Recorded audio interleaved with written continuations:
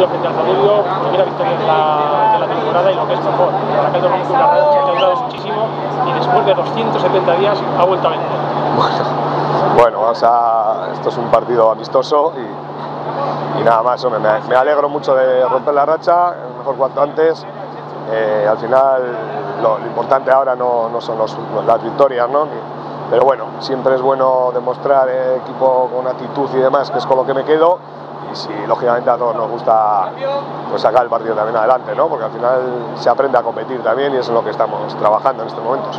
Bueno, eh, le ha costado un poquito entrar en el partido, pero luego poco a poco yo creo que ha sido mejor que, que el rival, habéis creado muchas ocasiones, ha costado que llegase el gol, pero yo creo que la victoria es suficiente. Sí, no, eh, los primeros 18-20 minutos han sido de ellos, nos cogían las caídas, eh, hemos hecho un poquito de control y ahí hay una diferencia importante, a partir de ahí se ha igualado las caídas, tampoco es que les hayamos ganado tantas, pero se ha igualado porque hasta ahí teníamos muy, muy descompensado y a partir de ahí el equipo pues bueno, ha hecho peligro y sensación de peligro pues constantemente y luego atrás pues bueno, le he visto solvente ¿no? y sobre todo con, con una buena actitud de, de, pelea, de presión, de intentar ir creciendo y que es, que es con lo que me quedo realmente. Eh, ha costado, que el gol. En la primera parte dos, eh, dos postes, bueno, puesto un larguero.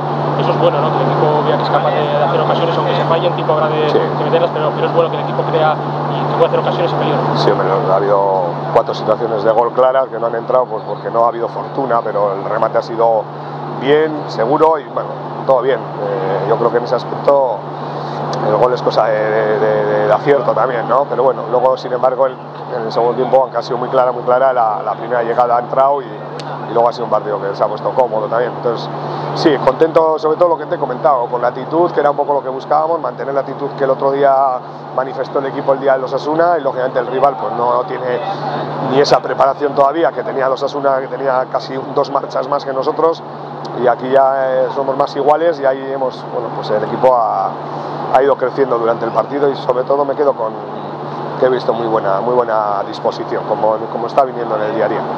La última novedad ha sido la incorporación de Chus Prado, un jugador con una calidad extraordinaria, un jugador que viene a aportar mucho al medio campo.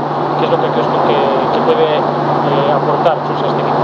Bueno, yo creo, tú lo has visto mucho este año, mucha gente le conoce y es claramente la, la apuesta es por, por buscar un,